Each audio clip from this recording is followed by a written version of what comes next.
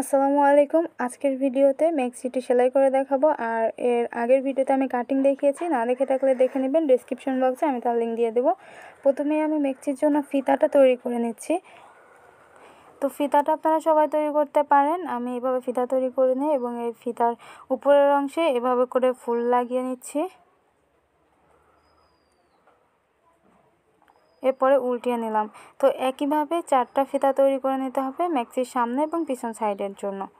তো এভাবে করে আমি দেখুন চারটা ফিতা তৈরি করে নিয়েছি। তো এবারে আমি ম্যাক্সির বডির পার্টটা নিয়ে নিয়েছি।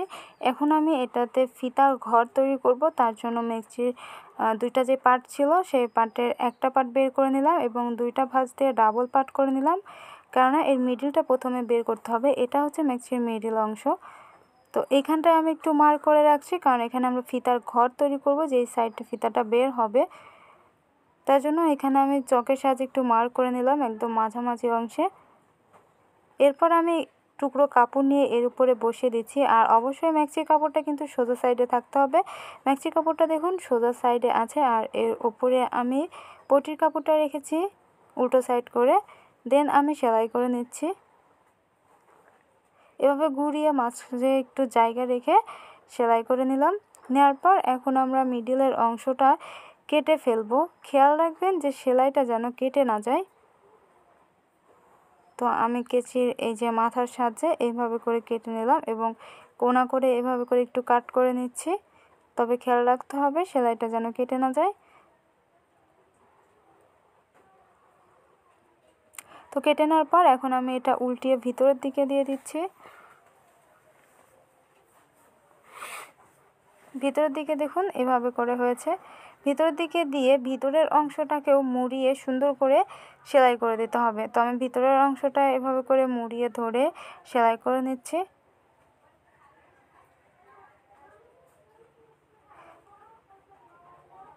তো দেখুন, আমার ফিতার ঘরটা তৈরি করা কিন্তু হয়ে গিয়েছে। অর্থাৎ এবার, এরপর আমি এভাবে মুড়িয়ে সেলাই করে দেবো এক ইঞ্চি, এর মধ্যে ফিতাটা থাকবে। তো এভাবে মুড়িয়ে ধরে সেলাই করে নিচ্ছি। যারা এখন আমার চ্যানেলটিকে সাবস্ক্রাইব করেননি প্লিজ আমার চ্যানেলটিকে সাবস্ক্রাইব করে পাশে থাকা বেল আইকনটি ক্লিক করে রাখবেন। পরবর্তী সকল ভিডিওগুলোর নোটিফিকেশন পেতে। তো দেখুন, সেলাই করা হয়ে গিয়েছে। একইভাবে আমি অপর অংশটাও সেলাই করে নেব।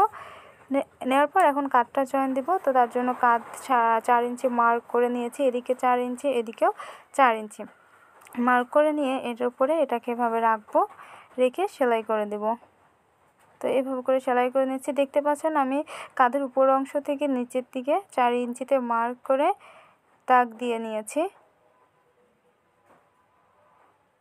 তো হেলদি হলে অবশ্যই সাড়ে চার ইঞ্চি নেবেন। এরপর আমরা ফিতাটাকে এর মধ্যে এভাবে করে দিয়ে সেলাই করে দেব। তার জন্য একটি স্ক্রুপের সাহায্যে ফিতাটাকে ভিতরে দিয়ে দিচ্ছি।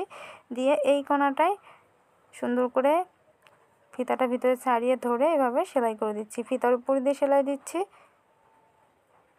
ডাবল স্টিচ দিয়ে নিয়েছি এবং কেটে নিয়েছি। একইভাবে আমরা দেখুন, অপর সাইডে কাঁধটা জয়েন দেব। মেপে নেব অপর সাইড থেকে। মেপে আমরা এখানে মার্ক করে নিচ্ছি। একইভাবে উল্টো পাশটা ওইভাবে মেপে মার্ক করে নিচ্ছি। নেওয়ার পর এটাকে উপর এভাবে রাখতে হবে এবং সেলাই দিয়ে দিতে হবে।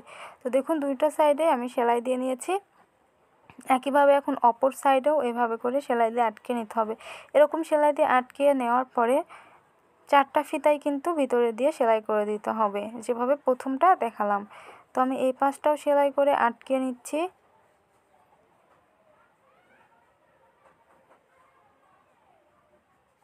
এটা সেলাই করে আটকানোর সাথে সাথে কিন্তু আমার মেক্সির চারটা পার্ট অর্থাৎ চারোদিকে কাঠটা জয়েন দেওয়া হয়ে গিয়েছে। দেখতে পাচ্ছেন? এবং আমি এটাতেও ফিতা দিয়ে সেলাই করে দিব। দেখুন, সেলাই করে দিয়েছি আর ফিতাটা টান টান করে ধরলে এমন হবে।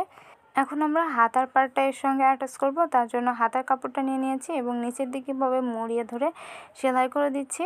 এটা হচ্ছে হাতার মহুরির অংশ। মহুরির অংশটা এভাবে করে মুড়িয়ে ধরে সেলাই করে নিলাম।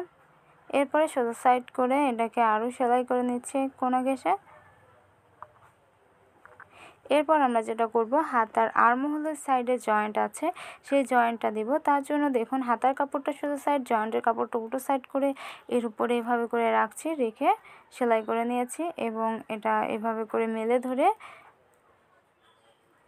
সেলাই স্টার্ট করছি। একইভাবে অপর পাশেও আমি এভাবে করে ধরে সেলাই করব।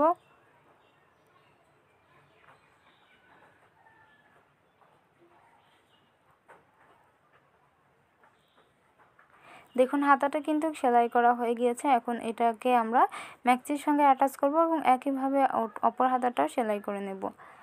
তো আমি এখন ম্যাক্সির কাপড়টা নিয়ে নিলাম। নিয়ে কাঁধের যে মিডিল অংশ আছে এবং হাতার যে মিডিল অংশটা আছে, সেই দুই মিডিল অংশটা এখানে এভাবে করে মিলিয়ে ধরতে হবে। ধরে তারপর দিয়ে সেলাই বসিয়ে দিতে হবে।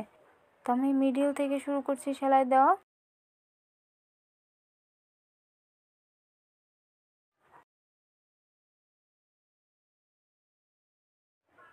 এখনও পর্যন্ত সেলাই করার পরে আবারও এই সাইড থেকে সেলাই করতে করতে আমি শেষ পর্যন্ত সেলাই করে আটকে দেব। অবশ্যই ডাবল সেলাই দিবেন। তো আমি আরও একটা সেলাই দিয়ে দুইটা সেলাই করে দিচ্ছি। একইভাবে আমরা ম্যাচির অপর হাতাটাও অন্য সাইডে লাগিয়ে নেব, এই সাইডে ঠিক আছে? তো হাতাটা লাগিয়ে নেওয়ার পর এখন আমরা সাইড দিয়ে সেলাই করে দেব। তার জন্য হাতা, আমাদের মোহরির মাপটা আঁকে নিতে হবে। হাতার মোহরি যত আছে, সেই অনুযায়ী আমি মার্ক করছি। বারো তো অর্ধেক ছয়। ছয় মার্ক করে এভাবে করে চকের সাহায্যে এদিকে মার্ক করে নিচ্ছি। আর মহলে আট রাখছি। তো এখন আমরা সেলাই স্টার্ট করে দিচ্ছি।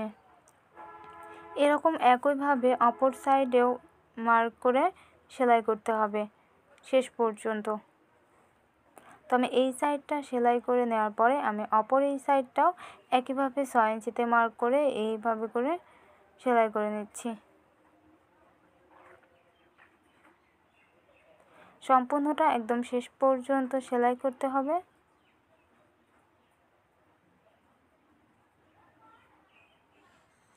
অবশ্যই এটাকে ডাবল সেলাই দিয়ে নিতে হবে। এবং এরপরে এটাকে নিচের যে মোহরের অংশটা আছে, সেই অংশটা এরকম মুড়িয়ে ধরে সেলাই করে নিতে হবে। অর্থাৎ মেক্সির পায়ের সাইডে যে অংশটা থাকে, উপর থেকে কাত থেকে ধরে নিচের লম্বার মাপটা নিয়ে তারপরে এইভাবে মুড়িয়ে ধরে সেলাই দিতে হবে। তো আমি দেখুন আড়াই ইঞ্চি এভাবে করে ভিতর দিকে মুড়িয়ে দিয়ে সম্পূর্ণটা ঘুরিয়ে ঘুরিয়ে সেলাই করে নিচ্ছি। এটা সেলাই করা হলে কিন্তু আমার ম্যাক্সিটি পুরোপুরি কমপ্লিট হয়ে যাবে আর ম্যাক্সিতে কোনো তুপায় যেহেতু থাকে না, আর কোনো কাজও নেই, তো আমি সম্পূর্ণটাই ভাবে ঘুরিয়ে ঘুরিয়ে সেলাই করে নিচ্ছি। তো দেখতে পাচ্ছেন, আমার সেলাই করা হয়ে গিয়েছে, আর এই সঙ্গে আমার ম্যাক্সিটাও কিন্তু রেডি হয়ে গিয়েছে।